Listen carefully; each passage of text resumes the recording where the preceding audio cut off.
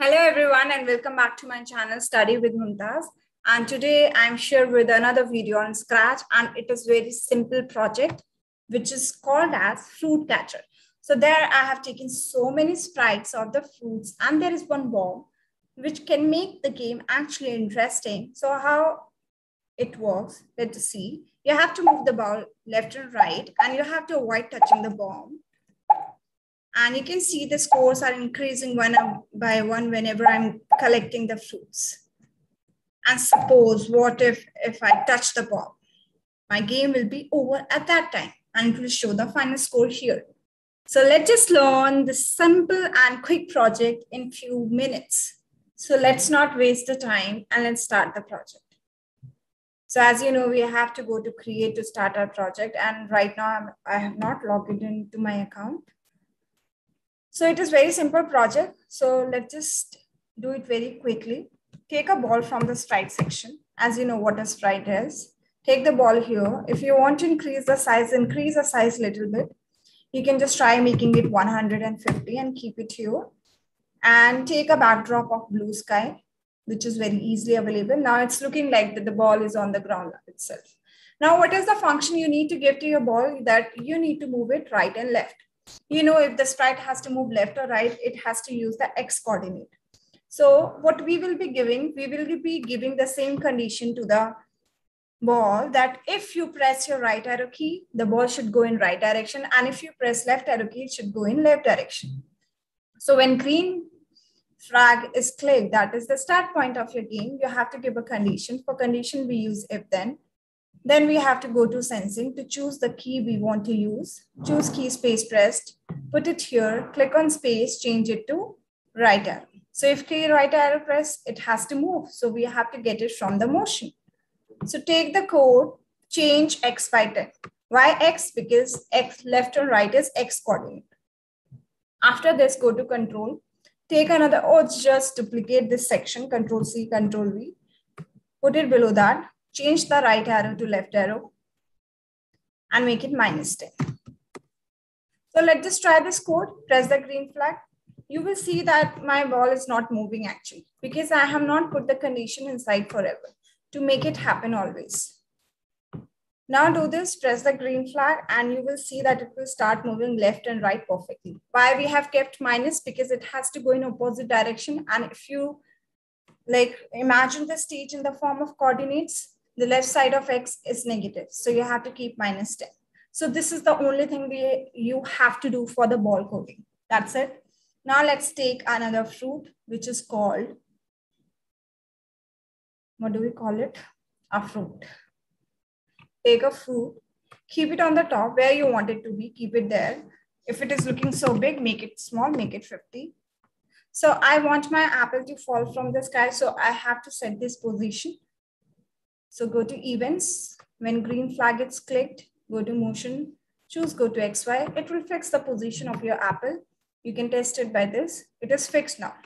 Now, what do you want to make happen? You want apple to be on the top, but you want it to take random positions on right axis and left axis. That means it should take any value from left to right. That is on X coordinate. To make this happen, what you can do is you can give the pick random value inside x coordinate because you want to fix your y, so keep it fixed. But for here, you can give the value minus 240 to 240. Now the question comes, why it is 200 and minus 240? It is because this is the whole length of your x coordinate. On left, it is minus 240. On right, it is 240. So let's just test this code. See, it's perfectly taking random values on x coordinate and fixed on the top. Now the next step we want is we want to make the apple come down. That means it has to change the y.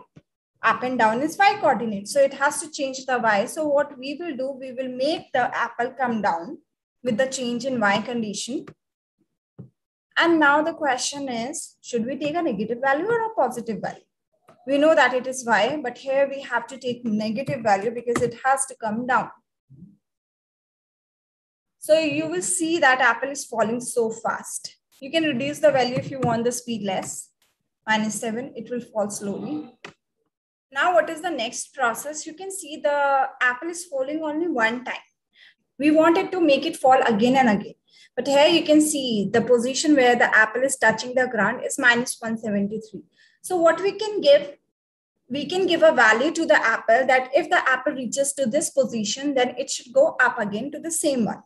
So let's just give this condition, go to control, choose if then, put it here, go to operators and give a condition of less than operator, y less than, because here we are taking negative value of y. So whenever you are taking negative value, you have to use less than operator. Let's give a negative value of 173, and this is your y position. So we have to keep in the empty one. If y position is less than negative of 173, then what should happen? The apple should go up again. So let's just duplicate this code and put it here inside if and test it. So now the apple is falling by itself again and again whenever it is going to that position, which is minus 173. Now you will see when the apple is falling and moving the ball, it is not looking like that it is catching it. We have to make it look like that the ball is actually catching the fruit. So let's keep it here only and give one more condition. If the apple is touching the ball, then what should happen? Apple should go up again in the same condition. Go to events. When green flag is clicked, go to control, take forever, choose if then, and give a condition of touching the basket. Sensing, touching mouse pointer, click on mouse pointer, change it to the sprite you want, make it to touched, and then just duplicate the same thing again and put it there. Now let's see how it works. So you will see whenever the apple is touching that basket, it is going up. At this point, you can add a sound block also. You can make a pop sound. So whenever the apple is going to touch that basket, it should make a pop sound. Go to code, go to sound, put Start sound pop.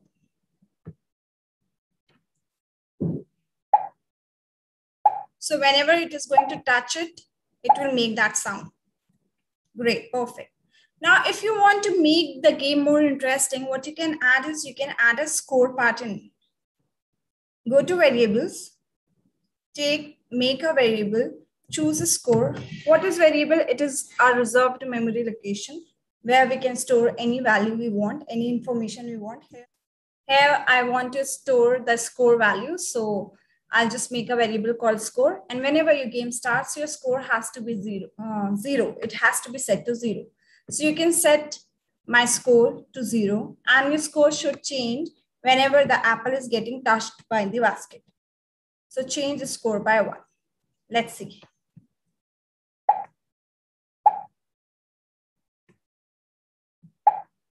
Yeah, perfect. Why it is need to get back to zero so that when it is right now four, when you press green flag, it will come back to zero. Now the interesting part, what you can do is you can just add one more, few more sprites, duplicate. And what you can do is you can just take other fruits also. Take these fruits, take the size. Let's delete this apple, okay? Go to this banana, go to apple, take this coat, make it over the banana. And when it shakes, leave it. Do the same thing here. Put it on the banana. When it shakes, leave. You will see that the code is duplicated here. Go to the apple again. Do that again. Yeah, now both the codes are there. So you can just play it and you will see that, yes, it is working the same way if you feel like that it is taking time, you can hide it and then you can show it. You can hide it initially and you can make it wait for two seconds or one second and after that you can make it fall. So go to looks and choose show again and put it here. So initially it will not be shown, but after two seconds it will be shown. Okay this is the thing you can do. So now two fruits are done. Mm-hmm. Now let's take another one. Let's take a strawberry. and choose that and keep it here. If you feel like the size is really big, make it 50. Again, the same thing you need to do. Take the banana, take the coat over the strawberry. When it shakes this way, then leave that. Another same thing. Now let's see both the coats are added or not. Yeah, it is added. You can just increase the time if you want so that all three should not come together.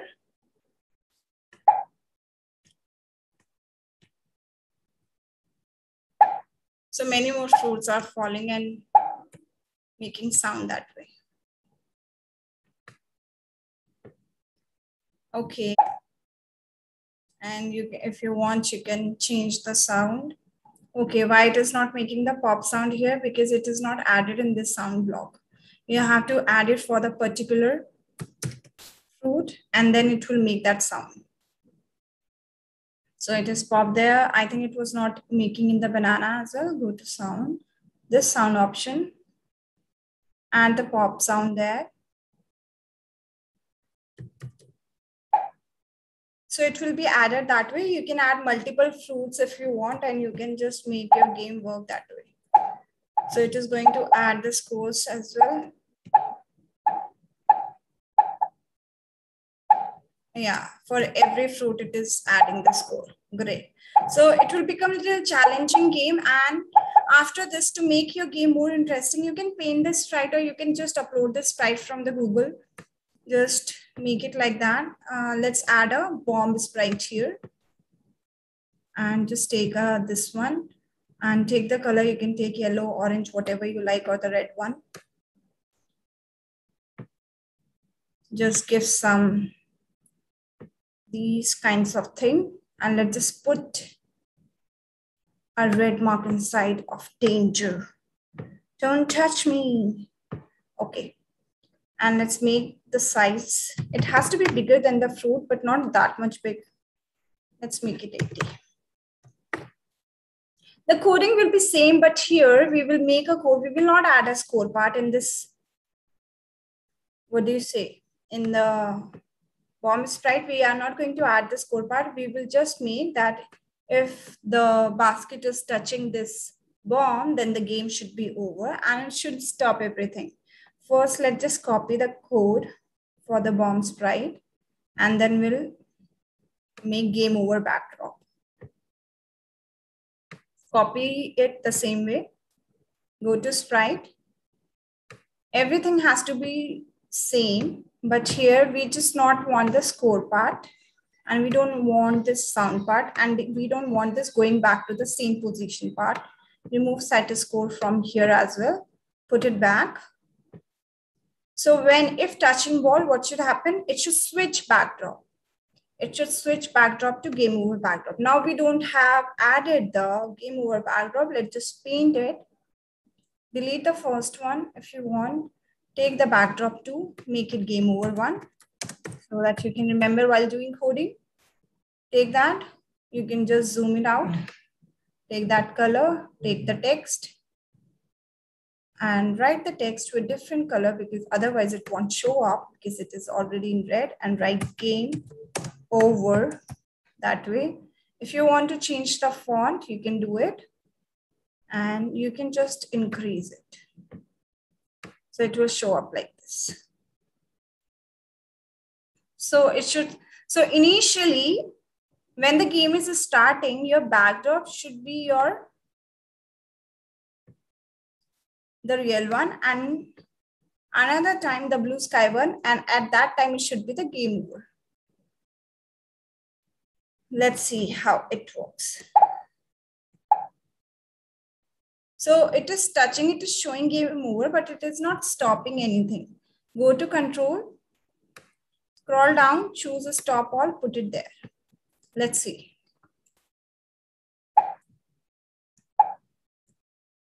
Everything has stopped and the game is over. So this is all for today's video. I hope that it is going to be very easy for you. And I have just tried to make it so short so that you can learn it very quickly and can try out making it. So just keep supporting my videos and keep subscribing and loving. Yeah, that's all. Bye everyone. Take care. See you with new video.